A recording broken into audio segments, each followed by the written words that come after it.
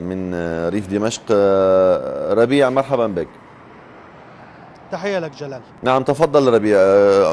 يعني عندك أخبار عن المصالحات نعم. التي تجري في خان الشيح وأيضا لو تضعنا في صورة الوضع الميداني في منطقة الغوطة بريف دمشق. تفضل. نعم.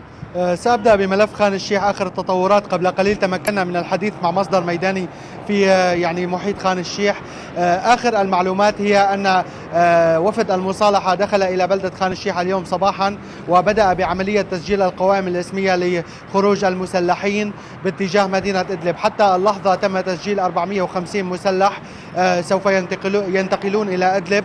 إضافة إلى أن العدد الكلي مع عائلاتهم يصل إلى 1200 حتى اللحظة. هؤلاء بالمجمل سينتقلون إلى إدلب.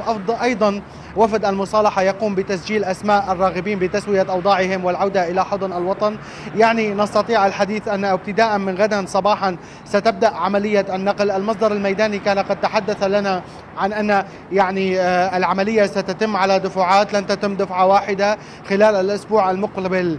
نستطيع القول أن خان الشيح ستصبح خالية من السلاح والمسلحين. هناك ثلاث مجموعات رئيسية هي أحرار الشام فتح الشام وأكناف بيت المقدس. هذه بمعظمها سيتم انتقالها إلى إدلب كانت قد طرحت في السابق قبل وقف النار الكلي في الأسبوع الماضي. بأنها تريد الانتقال إلى منطقة درعا. طبعا الموضوع رفض كليا كليا من قبل الجيش العربي السوري. تم الموافقة فقط على النقل إلى إدلب. وعلى ذلك تم الاتفاق اليوم صباحا على تسجيل القوائم الإسمية. نستطيع أيضا الحديث أن مساء أمس وحسب مصادر يعني من داخل المخيم بأنه تم تسليم السلاح المتوسط والثقيل بالكامل للجيش العربي السوري. أيضا هناك معلومة قبل قليل تمكنا من الحديث مع أحد المصادر الأهلية في مخيم خان الشيخ كان يتحدث عن أن هناك يعني المسلحون عمدوا إلى بدء إحراق مقراتهم قبل مغادرتهم وبالتالي نستطيع ان القول أن ملف خان الشيخ قد طوي تماما.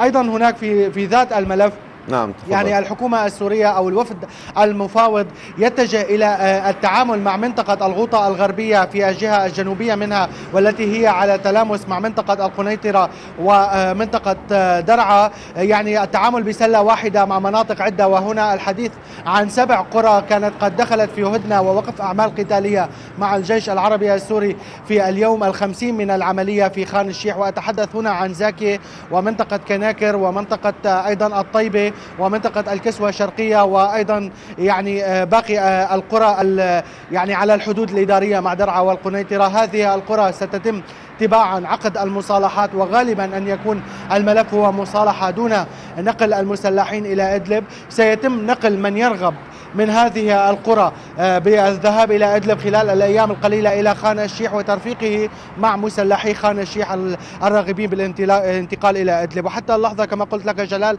العدد هو بحدود ال 1200 إذا انتقلت إلى منطقة أخرى ويعني على عملية تسوية ومصالحة وهي مدينة التل التي تقع في الجزء الغربي من دمشق. هذه المدينة تعتبر ثاني أكبر مدن ريف دمشق.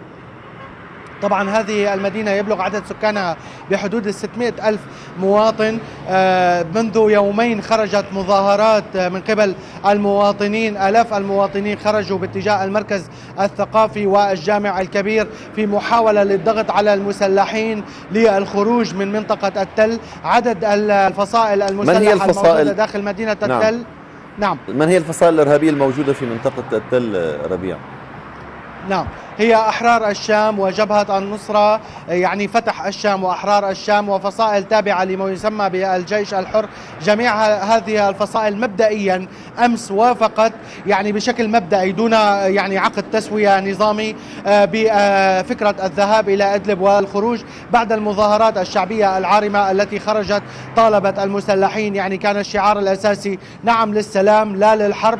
نريد العودة إلى حضن الدولة السورية وخروج المظا... خروج المظاهر المسلحة إلى مدينة إدلب. يعني ملف التل هو مشابه لما حدث في قدسية والهامة الأسبوعين الأخيرين عندما طالبت يعني الضغط الشعبي إضافة إلى الضغط الجزئي العسكري وجاء معززا لذلك الضغط العسكري فرض شروط التسوية وأيضا المصالحة وتسوية الأوضاع. نستطيع القول أن الأيام المقبلة أيضا ستحمل يعني حلا لموضوع التل بعد اجتماع أمس أمس وقد يتبع ذلك اجتماعات أخرى لوضع نعم. يعني قائمة أسماء المسلحين الراغبين بالذهاب إلى أدلب مع عائلاتهم اذا يعني على ما يبدو على ما يبدو ربيع يعني مشوار المصالحات بدأ بالتدحرج دعنا نقول في في في مناطق مختلفة في سوريا وهذا أمر جيد نعم. يعني مما لا شك بأنه يساند جهود الجيش العربي السوري اليوم في مكافحة الإرهاب في سؤال أخير ربيع ماذا عن عمليات الجيش العربي السوري اليوم في الغوطة؟ نعم. إذا انتقلت للحديث عن عمليات الجيش العربي السوري يعني أود الإشارة جلال إلى موضوع جدا مهم ما يحصل بشكل عام بريف دمشق. هناك خطان متزامنان هما الضغط الشعبي آه، في آه، داخل يعني الأماكن التي توجد فيها آه، المجموعات المسلحة. إضافة إلى الضغط العسكري هذان الخطان المتزامنان تسير فيهما يعني الحكومة السورية والجيش العربي السوري. إذا تحدثت عن محيط دوما حتى اللحظة المجموعات المسلحة داخل دوما ومحيط دوما هي لا لا تقبل آه، يعني عرض التسوية حتى اللحظه يعمد الجيش العربي السوري إلى الضغط العسكري وتطويق معاقل المجموعات المسلحة داخل دوما عبر التقدم على عدة محاور إن كان في حرستا وإن كان أيضا مساء أمس وأول من أمس تم التقدم إلى محور جديد هو محور الميدعاني الذي كان يعتبر خط إمداد رئيسي بين البادية السورية والغوطة الشرقية. هذا الخط قطع تماما وتقدم الجيش في تل كردي وتل الصوان يعني التضييق العسكري على معقلي ثلاث معاقل أساسية هي الشيفونية ومسرابة ودوما والتي تعتبر خزان للمجموعات المسلحة وتطويقهم هو من يدفع باتجاه المصالحة إضافة إلى الضغط الشعبي على المسلحين لكي يتركوا المنطقة. يعني العملية ما زالت بأولها في الغوطة الشرقية وتطويق دوما. نعم.